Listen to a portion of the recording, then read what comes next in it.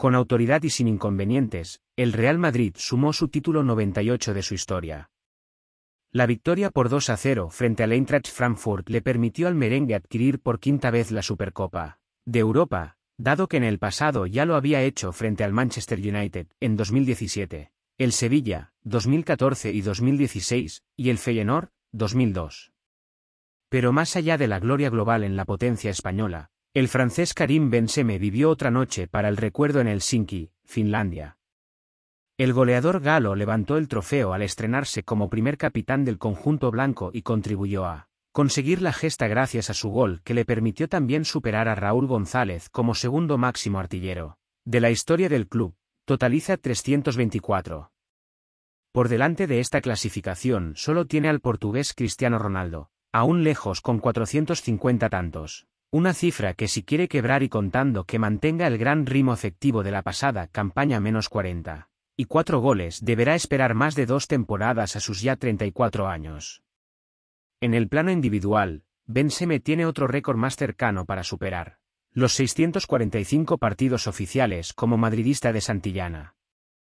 Con 606 con la camiseta blanca y en una temporada en la que el Real Madrid tiene aún por delante cinco competiciones, se antoja más fácil de lograr que el de la leyenda lusitana. Lo que le haría estar entre los cinco jugadores que en más ocasiones se han puesto la camiseta del reciente, campeón de la Supercopa de Europa.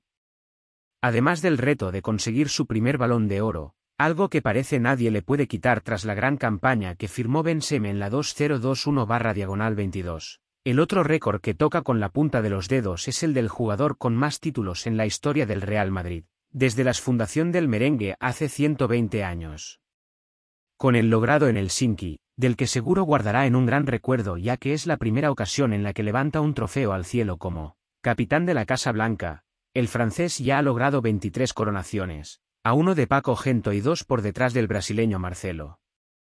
Y es que según apuntaron fuentes del club tras el fallecimiento de Gento el pasado 18 de enero, los registros propios lo colocan como el segundo futbolista más laureado en la historia del Real Madrid, con un título más, 24, de los que tienen registrados otras bases de datos externas.